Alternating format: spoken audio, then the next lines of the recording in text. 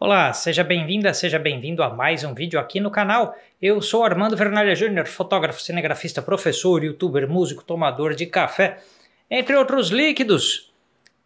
Já clica aí no curtir no vídeo, não custa nada, é de graça, não cai o dedo, não dá alergia. Clica aí no curtir, inscreva-se aqui, ative as notificações para não perder nada e se você puder e quiser, Junte-se ao Apoia-se, assim você contribui com o meu consumo de café e outros líquidos e com a produção de vídeos aqui do canal também. Outro dia, quando a primeira vez que esse cenário aqui, essa estante entrou nos vídeos, eu tinha perguntado se as pessoas queriam que eu fizesse uma tour, né, um vídeo de tour dos livros aqui. E aí eu concluí que se eu fizer, muita gente disse que queria, mas se eu fizesse isso, ia ficar gigante o vídeo. Então, é horas e horas e horas. Aí eu tive a ideia de começar uma nova série de vídeos aqui, que vamos ver se dá certo. Esse de hoje é o primeiro, que eu vou chamar de Minhas Preciosidades, ou My Precious. Ah, qual que é a ideia? É mostrar alguns livros que eu considero muito especiais, que contribuíram muito na minha formação como fotógrafo e que são interessantíssimos e belíssimos e, e por aí vai. É, por exemplo, um dos, desses livros está aqui, o Terra Brasil, do Araquém Alcântara, um dos meus primeiros livros de, de fotografia. Isso aqui é incrível. Segue lá o Araquém em tudo quanto é rede social que você achar o Araquém Alcântara, segue ele, acompanha o trabalho dele, curte tudo que ele posta, porque é sensacional. Uma outra das minhas preciosidades aqui é esse aqui, o fotoclubismo. Provavelmente o movimento, a fotografia moderna brasileira, que é o que está aqui nesse livro, é a parte da fotografia de toda a história que mais influenciou o meu trabalho. Então eu quero fazer uma edição aí do Minhas Preciosidades, My Precious, sobre esse livro. Diz aí nos comentários se você gostaria. Deixa eu colocar alguma foto aqui para vocês terem uma ideia, mas tem coisas absolutamente sensacionais aqui. Fotos aí de Tomás Farcas, muita coisa muito boa. Marcel Giró, enfim, muita coisa. Mas o vídeo de hoje não é sobre esse aqui. O vídeo de hoje, a ideia dele nasceu no review da EF 85mm 1.4L IS USM. Se você não viu esse vídeo, dá uma chegada aqui no canal que ele tá lá. E no cenário das fotos que eu fiz para testar aquela lente, estava este livro aqui. Que tá, essa é a edição em inglês dele, né? Photographs for the Tsar, as fotografias para o Czar, o pioneirismo na fotografia colorida por Sergei Mikhailovich ou Mikhailovich Prokudin ou Prokudin Gorsky, o Gorsky, não faço ideia de como se pronuncia o nome do cara. Sergei Mikhailovich Prokudin Gorsky. Dá para decorar? Sergei Mikhailovich Prokudin Gorsky. Um trabalho com apoio aí, praticamente uma encomenda do czar Nicolau II e esse livro aqui é bem exótico e é interessante, é dele que eu vou mostrar para vocês. Primeiro, só uma breve introdução. Quem foi né, o Sergei Mikhailovich Prokudin-Gorsky? Ele era químico, a formação dele químico. Nasceu na Rússia em 1863, morreu em 1944. É um dos pioneiros do processo em cores da fotografia ele usava um processo que não foi inventado ou descrito ou teorizado por ele, que era o processo de divisão das cores em RGB, vermelho, verde e azul, red, green, blue. Então, esse processo foi teorizado, estou lendo aqui no meu roteiro para não esquecer e não errar, por um matemático escocês chamado James Clerk Maxwell em 1855. Então, essa ideia que a gente tem nos monitores de hoje, monitor RGB, câmera que capta né, RGB, todos os instrumentos digitais de projeção de imagens, captura de imagens e tudo mais que trabalham em RGB. Essa divisão foi teorizada, imaginada, pensada em 1855 pelo James Clerk Maxwell. E quem conseguiu enfiar isso em fotografias foi esse russo aqui chamado Sergei Mikhailovich Prokudin-Gorsky. Quando eu soube dessa história, desse pioneirismo da fotografia colorida, eu precisava muito comprar esse livro. Eu pesquisei, eu, comprar algum livro que tivesse esse conteúdo. E aí eu pesquisei bastante e encontrei esse aqui.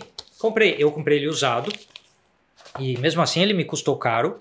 Se eu encontrar algum link na internet para compra dele, eu vou colocar aí na descrição do vídeo, assim como dos outros livros que eu mostrei para vocês no começo. E agora eu quero dar uma folheada neles, não vou folhear aqui assim no, com o livro no colo que fica ruim para ver, então a gente vai reposicionar a câmera para você ver bem essas imagens, porque a gente está falando de um trabalho feito ali entre o, é, no começo dos 1900, tá? Esse documentário fotográfico gigantesco nasceu porque foi uma ideia do Sergei Mikhailovich Prokodingorsky, é, decorei o nome, tem que falar sempre inteiro, e de documentar o Império Russo, agora que existia esse avanço da fotografia colorida, precisava documentar isso em cores.